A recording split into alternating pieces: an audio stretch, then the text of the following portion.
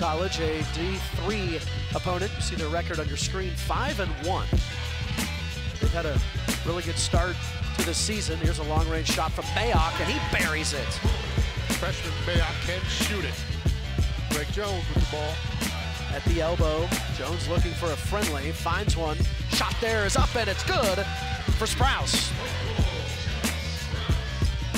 Hood coming in, averaging 82 points a game. Eagles averaging 72. Here's another three ball up, and it's good. Jeff Sprouse off the bench, sticking a pair of trays. Collin looking to navigate. Now Sprouse with it to Donadio, left side toward Balaseger Webb. Out to Donadio again as Lorenzo slings it to Smalls. Collin takes a step, now gets it to Sprouse. Jeff, another three. Fourth tray for the sophomore.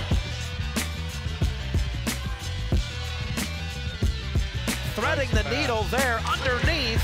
Stevens to ball. Four minutes to play here in the first. Four-point lead for Hood College. At the elbow, now back out. Quick ball movement to the corner. Donadio unloads and connects. Long-range shot there for Lorenzo. That is his second tray of the game. Eagles pulled within one.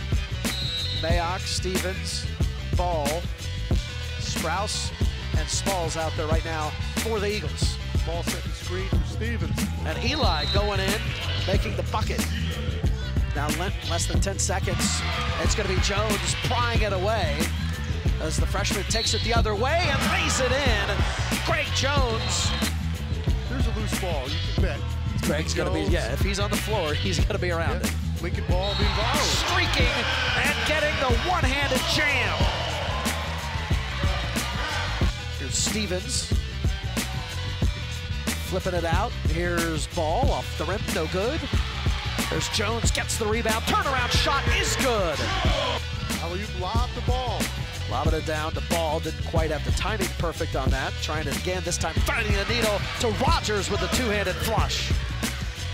Nadio. Jones now ball, quick movement, corner. Here's Sprouse. He puts it up. Swish. Jones has got it. Now here's Gleaton. He'll sling it out. Mayock working it over. Smalls. It's up. It's good.